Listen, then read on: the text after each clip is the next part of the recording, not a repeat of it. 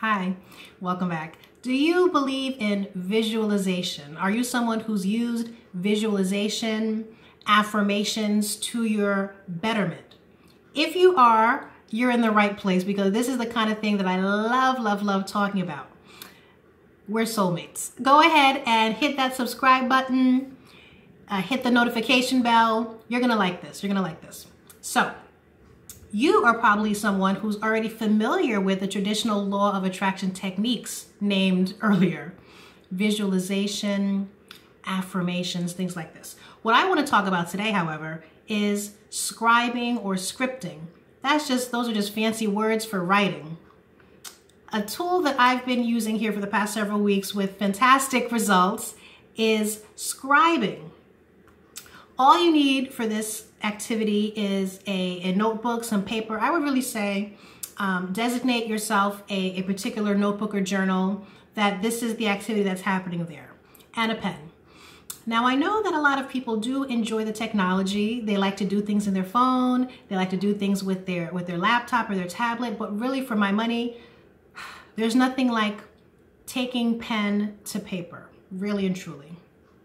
Here's the reason why. Did you know that when you write something down, that is the first indication to the outside world that this thing has been manifested? Not manifested perhaps in the way that you envision it, but it is in fact a manifestation when it comes out of your mind onto the paper. Also, there's something sensory that's happening as you are writing the letters and putting your intention into that writing that's also very much creative. So like I say, I, I would really highly suggest that you do um, do it old school and, and write with a paper and pen. Okay, fine. What are the things that you're gonna write? You can actually choose any area of your life that you so desire. The most common areas would be your health and wellness. Maybe you have a, a health condition that you would like to improve. Maybe it's something related to your, your physical body that you feel uh, could be improved. Maybe it's something with your finances. A lot of people, there's a lot of talk about finances. Maybe maybe you want to win the lotto. Maybe you want to be in your, your perfect ideal career. Um, relationships. Maybe you're looking to improve upon an existing relationship. Maybe you're looking to attract a new relationship, whatever the case may be. I really feel like these are going to be the most um, common areas. Actually, another common area would be your living arrangement. Especially now these days, we're spending a lot more time um, inside of the home. So maybe there are things about the home that you would like to improve upon. You're going to pick the area that you are targeting, areas I would say, that you're targeting, and just begin to write in your journal. Many of us are familiar with The Secret you can use that old standby. I am so, I am so happy and grateful now that. You can use whatever languaging really gets you excited. I'm so excited now that. I am beyond pleased now that. I just love the fact that. Those are some openers. Whatever, you know, really gets your juices going. I'm going to go with I just love it. I just love that I am now able to wear all of the clothes that have been hanging in the back of my closet. I fit into, this is me scribing now, I just fit into these, uh, these articles of clothing with such ease and they look better on me now than they did 10 years ago, for example. We can do um, health. Um, I happen to be someone who is in, in uh, I would say perfect health. I'm in very good health. But if you're the kind of person who uh, maybe there's an area that you want to work on. Um, it could be um, your iron levels. It could be blood pressure. Uh, it could be uh, sugar levels, glucose levels, whatever it is. I am beyond ecstatic now that my glucose levels have fallen into the proper range. Whenever I get my um, whenever I check my sugar, it's always in the range that I set forth. I think the average is 100, maybe the max is uh, 120. Like you want to be between 100 to 120, something like this. I'm not, don't, don't take my word for it. I'm just, you know, going off of the top of my head, but I believe the average is around 100. So if I were such a person, I would include that in my journaling, the number that I want to see the, uh, the rate, the reading at. if we're talking about blood pressure, they say, they used to say 120 over 80. Now I think it's a 115 over 75. They've, they've lowered it because people really um, are having issues with their blood pressure. So I would be that specific. So as you're writing down all of the wonderful, beautiful things that are happening with your health and wellness, as you're writing down all of the beautiful, wonderful things that are happening with your, your fitness, with your body, as you're writing down all of the fantastic things, the business contacts, the business opportunities, the kind of clients you're attracting, the kind of customers you're attracting who um, have been looking for a business such as yours for the longest time and they're just so grateful to have met you finally, whatever the case may be. The most important thing is that you're writing things that spark joy. You're writing things that get you excited. And when you're writing it this way, when you're writing it this way, a couple of things are going to happen. I already mentioned one. When you put it on the paper, that's the first physical manifestation. Actually, the first true manifestation is when you even have the thought.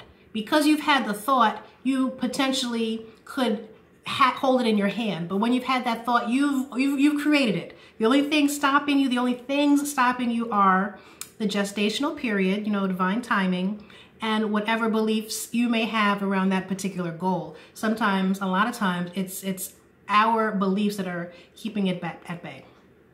So the first physical manifestation is when you have written it down on the paper.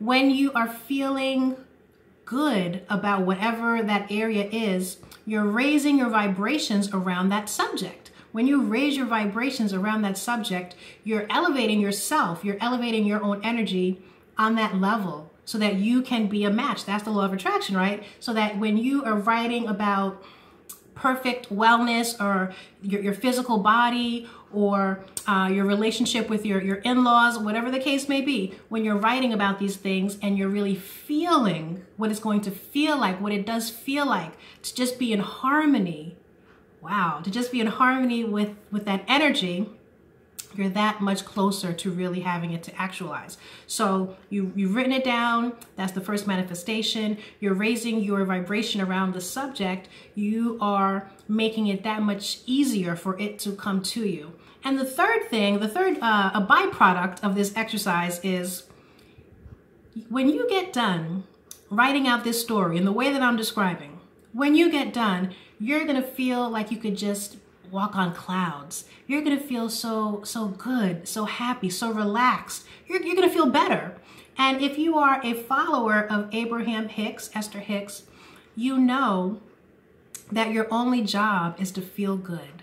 I just want to feel good.